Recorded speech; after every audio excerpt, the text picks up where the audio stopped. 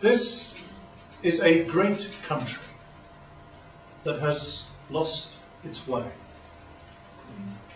When we started with its government in 1997, 13 long years ago, we were the fourth biggest economy in the world. Now, we have the worst debt of any major European country.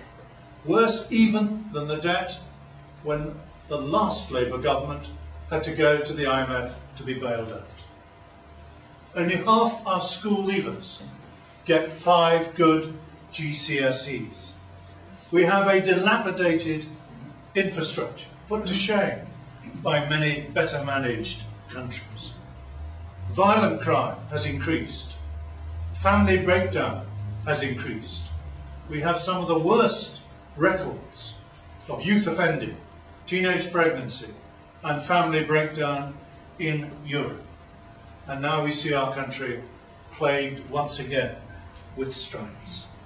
And instead of a positive government, turning things round, facing up to these challenges, we've been saddled with one of the worst governments that any of us can remember. A government that has fiddled endlessly around the edges, set up a new system of banking regulation in 1998 to supervise the top 10 banks. They lost five of them. That sold our gold, almost all our gold, at 217 an ounce. The price today is over a thousand an ounce. A loss altogether to our exchequer of some 14 billion pounds. Imagine if a Tory Chancellor had done that, the criticism we would have had. A government that has built up a budget deficit in the good years, unlike other countries, unlike Sweden, unlike Spain, unlike Canada and Australia. They ran up this deficit even when the economy was growing strong, with the result that our debt and the gilts that have to be sold each month to finance it, it is now more expensive for us to finance our debt than it is for the Italians to finance theirs. Gordon Brown is running this country worse than Berlusconi is running Italy. And the national debt itself, as you know, has been doubled in the last 10 years. We will spend more next year on debt interest than the entire defence and schools budgets put together. That is the waste of economic mismanagement over these years. But it hasn't just been an economic disaster. This government has further fragmented our society. It's encouraged multiculturalism. It's actually made integration of those who've chosen to come here more difficult. They have introduced equality laws which discriminate. Discriminate against those with religious beliefs, like our Christian churches, mm. for example. They have promoted political correctness, which stifles honest expression and simply encourages litigation. and they have increased welfare dependency. Over 5 million now on different various forms of benefit. Over 8 million economically inactive. And finally, worst of all, they have failed our young people. Nearly one third of those out of work in Sevenoaks are under 25 years of age. Now just think that through. That means that they were aged either between 5 and 12 when Labour came to power. It is a Labour government with all its wasteful spending, with all its initiatives and interference in our schools, that has failed to equip a whole generation with the right skills and training and schooling that they need to get jobs out there in the labour market. That is an appalling failure of this Labour government. And finally, as well as messing up our economy, as well as fragmenting our society, they have weakened our institutions.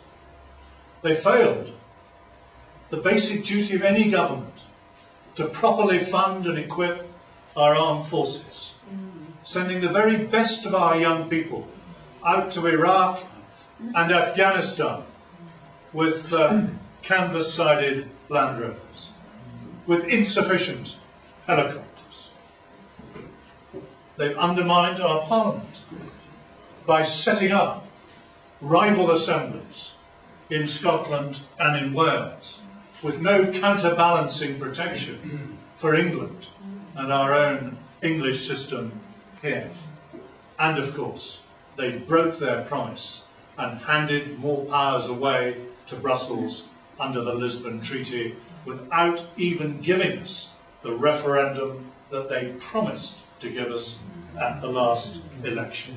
They have weakened our institutions. That's been bad for Britain. It's been bad for us here in Sevenoaks. Sheer Labour dogma has prevented us getting the additional grammar school places we need here in West Kent. The Kent County Council, by government edict, is not allowed to provide more places because Whitehall under Labour says no. Because they've mismanaged the public finances, having rapidly expanded the NHS and now demanded a 15% cut in our primary care trust expenditure, you will have seen from the interview in the Chronicle with Mr Phoenix, the primary care trust last week, that once again, despite saving it three years ago, the future of our community hospital may be up again in the balance because they have so mismanaged their budgets. And their crude political decisions have moved money away from Sevenoaks Council and other councils in the southeast to their own favourite councils up in the north of England. And throughout their time, our green belt here has been under threat from overdevelopment, cutting across the views of our elected council under Peter Fleming and his colleagues here, who've had to accept housing targets and planning decisions against their wishes imposed on them by central government through their regional agencies in the southeast.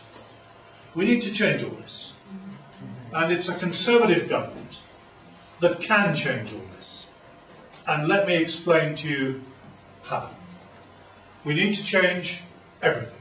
We need to change our economy, we need to change our society, and we need change for our institutions. Our economy first. We have an economy now that people talk of a hung parliament. We have what is virtually a hung economy, half in, half out of recession. And what do the Labour government do? They propose a jobs tax at the very point we should be encouraging our businesses to take those younger people off the dole, to give them their first start in work. The Labour government is going to make it harder, more expensive for businesses to employ more people, and it's going to make those people themselves pay more in national insurance. On the contrary, we should be making this easier. We should be cutting the jobs tax, reducing it. We should be helping small businesses by cutting red tape. And we want to encourage new businesses to take on new people off the unemployment register and we will relieve them of national insurance entirely for the first 10 employees if they do that. We will also back the new technology industries, the green industries of the future, and we will get this economy moving again and start again to create the jobs that our people, our young people, so desperately need. That's the change we will bring to our economy.